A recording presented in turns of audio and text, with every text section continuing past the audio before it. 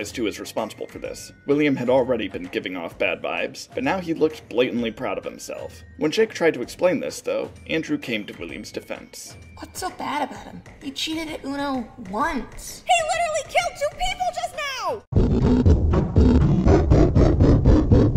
Lies and slander. No, no, I did do that. As a matter of fact, I killed you too. I I'd remember being murdered. Jake needed to solve this fast. After some internal bickering, he learned about Andrew screaming into stuff to release his rage. With that information, Jake reasoned that putting those pieces back together could potentially refresh Andrew's memory. He'd remember That's why William was a stupid. problem, and they could finally get rid of the purple parasite. After a few weeks of running around on a garbage hunt, and with only a few extra casualties, the Stitch Wraith headed to an abandoned factory to use its trash compactor on its collection. Suddenly, intruding on the scene was Detective Everett Larson, who had been tracking down the Stitch Wraith this entire time to try and cope with his divorce or something. As Larson prepared to shoot it down, Jake suddenly caught notice of him and backflipped into the trash compactor in an act of defiance. As the Stitch Wraith crumpled together with all the junk, Andrew finally remembered what he was so angry at William Afton about. He was just about ready to throw hands with his killer once more, but he quickly gathered he may have been out of his league. After the Stitch Wraith flipped into the trash heap, William's soul transferred to the garbage and began forging it all together into a new body. After causing a chain reaction with the old machinery, William blew up the factory and used his degree to his I don't advantage, believe growing this. into a 15 foot tall monstrosity. So, making the decision to cut his losses, Andrew quietly made a run for it while he still could. Larson, shocked at how dramatically the situation escalated, spent this valuable time throwing insults at the giant trash rabbit. William wasn't phased by this, though, and simply proclaimed, I am Agony Did somebody say agony? Eleanor was there too. After learning of the Afton Amalgamation's existence, she quickly launched herself into it to try and absorb its power. This caused Afton to become far more violent, and Larson was nearly killed by the amalgamation. Before it could finish him off, though, he began hearing a voice coming from his bag. It was the mask of the puppet, or at least his delirious mind figured it must have been. Nonetheless, he tossed it at Afton's shins, and the impact caused him to fall apart like a house of cards. As Afton sank into the lake near the wreckage, he noticed Eleanor escaping his collapsing body, and he recognized her instantly. Not only was she his abandoned creation from his time travel vacation, he felt the spite emanating from her and knew it could be only one person. The woman who he once probably loved, then definitely hated, had managed to become far more than he ever was. And so, he looked at her in bittersweet longing before everything faded to black. William Afton was dead. Now that the amalgamation was destroyed, the Stitchwraith ran to Larson's aid. Jake was all on his own now, and he wasn't going to let anyone else die. So he whacked the detective with his battery, and that got rid of the lingering agony left behind by Afton. Now that Larson was a little less half dead than before, he immediately tried to fight Eleanor. She wasn't impressed by his endeavor, and she dragged him into a highlight reel inside her mind. Your investigations, your hunt for the Stitch Wraith, your failed marriage. Who do you think was behind it all? Uh, bad luck, I guess. Oh, I thought I was being more obvious. Sorry, sorry.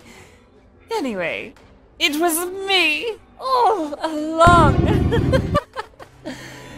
you didn't know it, Larson, but I was always there.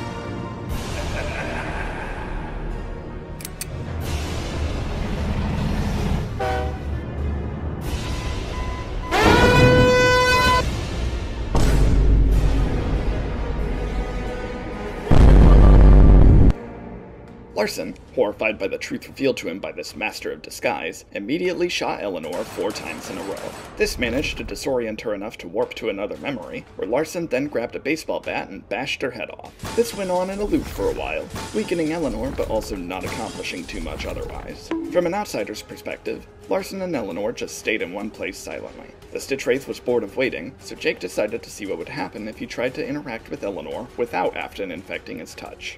This allowed the Stitch Wraith to peer into her memories. While Larson and Eleanor were still having their grand battle, Jake discovered Eleanor's worst memory. I heard Billy Dee Williams was in this one. Oops. Spoilers. Confused by what the problem here was, but nonetheless undeterred, the Stitch Wraith grabbed Eleanor and launched her into the memory to be stuck Well, that forever. was Now that Jake had saved the planet anticlimactic. from Eleanor's wrath, he felt fulfilled in his purpose. With that, he moved on from this world, and the Stitch Wraith was no more. Larson, now sitting alone in the wreckage of a factory with two lifeless animatronics in front of him, deliberated what to do now. He knew this was going to cause a big stink for the police department if he didn't have a believable explanation on hand. So he just tossed Eleanor and the Wraith's bodies into the ball pit at Freddy's and blamed their hijinks on Fazbear Entertainment. Michael Afton, now facing immense backlash for reviving the company, had to figure out a way to save its reputation before it collapsed all over again. He checked his plans for anything that could help him, and to his relief, there was a perfect solution. All Mike had to do was cover up these allegations by touting them as fictional events from a video game series. After interrogating his board of directors to see if any of them knew how to make a game, one of them spoke up and said they knew of someone that could. This led Michael to a failed indie developer with a desolate hope for success, Steve Snodgrass. Steve's only claim to fame was a critically panned promotional title for Elk Chips, but Mike could feel the potential oozing from this creator. Steve just needed a spark, and Michael gave him lightning. Steve, ecstatic at the opportunity to make appropriate use of his uncanny modeling style, quickly whipped up a game called Five Nights at Freddy's. It was pretty simple, but Michael thought it was a perfect starting point. After Steve posted this game under the guise that it was totally unauthorized, it immediately skyrocketed in popularity. People were playing it left and right, and most importantly, those curious about the game's hidden lore started to confuse historical fact from modern fiction.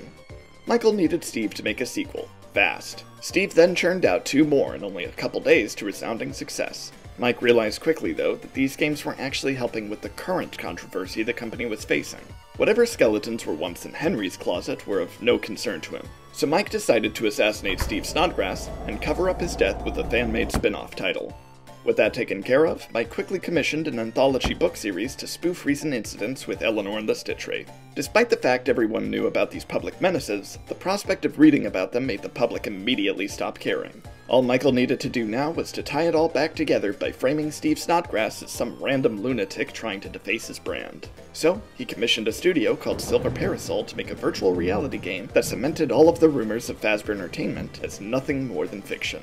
Development was pretty standard, all things considered. The studio focused on remaking all three of the original FNAF games in VR, and then Michael personally provided them with scribblings of his own life experiences to use as inspiration for new levels. Alongside this, he also tossed them various circuit boards, notably from Scraptrap and some old endoskeleton hardware. Circuit He told the developers that it helped must make the be a surprise. Toodland will help us later. in-game, to which everyone collectively told him that's not how it works. After some gentle negotiation, Michael convinced the team to scan the circuit boards anyway. This didn't seem to really accomplish anything initially, but soon something awakened within the VR game that nobody yet knew about. William Afton, against all odds, came back from complete eradication again due to lingering remnant on Scraptrap circuit boards possessing a program called Mimic 1. Anyone Observing else the get virtual space around flashbacks? him, William started digging through files to obtain a more tangible form. To his disappointment, he wasn't all too pleased with any of the Spring Bonnie or Springtrap models available to him. So, instead, William used the power of 3D modeling software to manifest a digital recreation of his wonderful pajamas. To save his new form, he overwrote an unused Springtrap model named Glitchtrap and decided that worked perfectly for his new environment. He was considering the name Malhare, but he had no idea how to rename the files, so he just settled with what he had. As production continued and beta tests began, Glitchtrap encountered Jeremy Fitzgerald II, the security guard Balloon Boy chewed on once. Now working as a QA tester, Jeremy tried to write off Glitchtrap as nothing more than a bug. As time went on, though, he wound up being captivated by the virtual rabbit rattling off nitpicks about the game's character models and level maps. Jeremy agreed that this was a problem, and he promised Glitchtrap that he'd set things right and make the VR game as accurate as he could. The other developers, however, felt insulted by the sudden onslaught of criticism Jeremy provided. None of it seemed rational or helpful, so they all conspired to get rid of him. After finding a guillotine paper cutter, the Silver Parasol development team cut off Jeremy's face and made it look like he did it in a fit of hysteria. Jeremy didn't really appreciate this, so he finally quit his job as a QA tester and sued Silver Parasol for cutting off his face. With his position now open, a successor dubiously named Tape Girl took his place. Tape Girl, much like Jeremy, was also unusually intertwined with the history of Fazbear Entertainment. Her brother, Phone Dude, had sucked her into a passionate interest in the company while he constructed Fazbear's Fright. Now that he had gone missing, she decided to pick up his slack and participate in the company's current renaissance. Glitchtrap, upon seeing Tape Girl, recognized her as one of Phone Guy's children and reasoned that she wasn't to be trusted. He had been burned by both her father and brother already, and he wasn't going to let that happen again.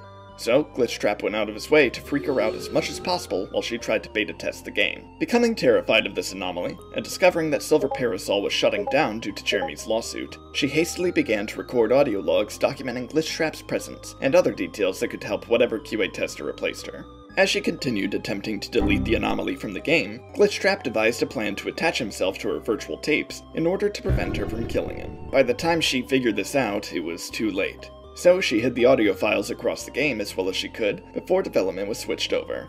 Glitchtrap wasn't going to let Tape Girl go that easy though, so on her last day on the job, he created a brand new level meant just for her. As Tape Girl followed his bunny trail, she soon realized that he was the one responsible for the murders that plagued Freddy's all along. Feeling Well, more and more tangled within the virtual reality, say Tape that. Girl soon found herself trapped within the suit of Freddy Fazbear as Glitchtrap celebrated her digital demise. Now that Silver Parasol was no longer developing the Fazbear virtual experience, Michael wiped all known traces of the company and its employees from existence. The replacement studio was run directly by Fazbear Entertainment, and they sent out some help wanted ads to get fresh beta testers. Soon enough, a new hire caught wind of the job opportunity and applied as soon as possible. This applicant was a passionate Five Nights at Freddy's fan named Vanessa Shelley.